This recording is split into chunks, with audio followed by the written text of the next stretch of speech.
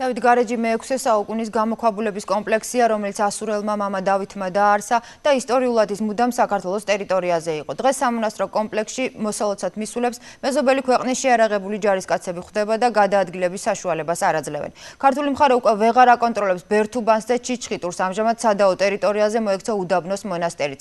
6 მაისამდე უდაბნოს მონასტრის დათვალიერება და მოლოცვა თავისუფლად იყო შესაძლებელი.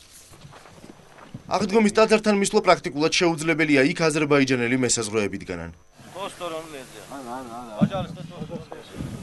Ну, калина граце, то. Айда не граница. Шеталина граце. Там нет это Азербайджан, Азербайджан. თუკი დავით გარჯის სამონასტრო კომპლექსიდან 6 მაისამდე მომლოცველები აღდგომის ტაძართან თავისუფლად მოდიოდნენ, დღეს სურათი შეცვლილი აქ უკვე აზერბაიჯანელი მესაზღვრეებიდანან.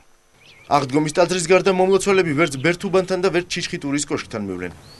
ამ ბილიქს აზერბაიჯანელი მესაზღვრეები გამყობ ზოლად მიიჩნევენ ორკაციანი საპატრულო ჯგუფები 100 მეტრის დისტანციით დგანან და მცირე საგუშაგოებს აწყობენ. არავინ არ თქვას ის რომ ეს საზღვარი, ეს არ არის საზღვარი. ეს არის ჩვენი წმინდა მონასტერი. დავით გარაჯის სამონასტრო კომპლექსის წინამძღვარი მეუფე ილარიანი ადგილის მნიშვნელობაზე საუბრობს და დასდენს რომ აზერბაიჯანელი მესაზღვრეების გამო ტურისტები იქ ვერადიან.